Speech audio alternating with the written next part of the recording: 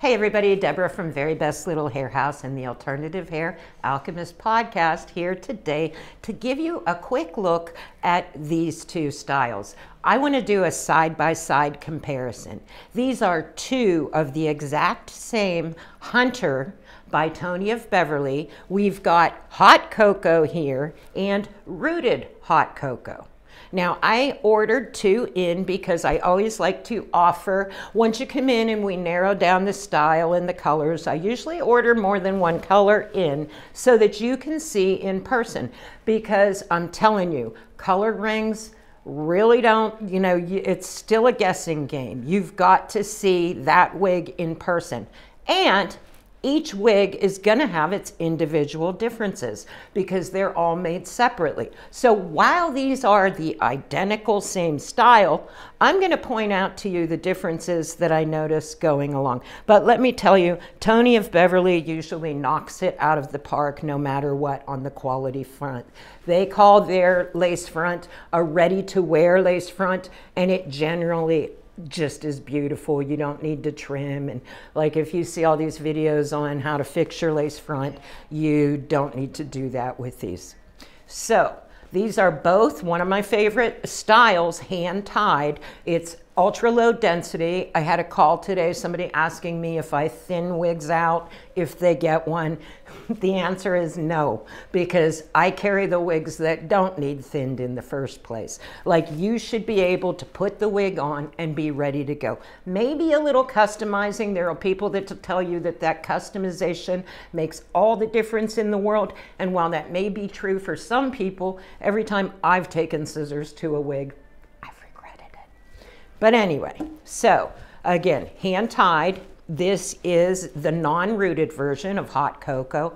One of the nicest browns out there. It looks like it occurs in nature. Like it looks like the sun has given you some nice gold type highlights and it's evenly distributed through the whole thing so it doesn't look like, you know, some people like more of a salon highlight look, but that's up to you. I always like, you know, the more natural looking like you're just naturally beautiful and you are.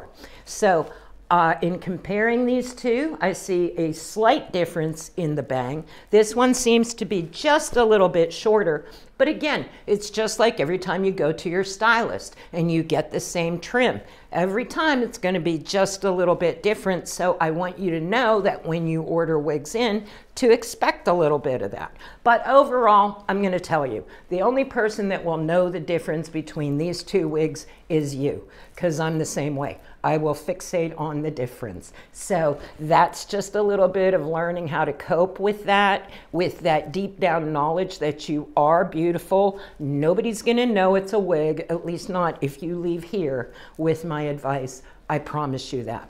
So again, quick look at the construction hand tied, which means every hair is knotted by hand on there. It's the ultra lightest um, construction that you can get. And you're going to have beautiful parting versatility. Now, everywhere you part it, it's going to look like scalp growth.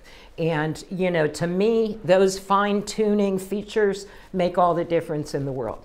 Now, now that I've messed this up, here is the rooted version.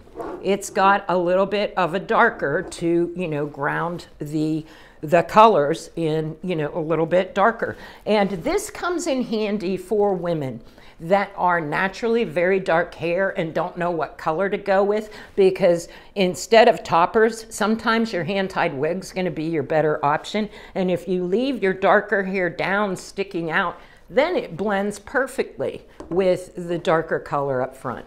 Again, hand-tied construction, hand-tied ultralight comfort.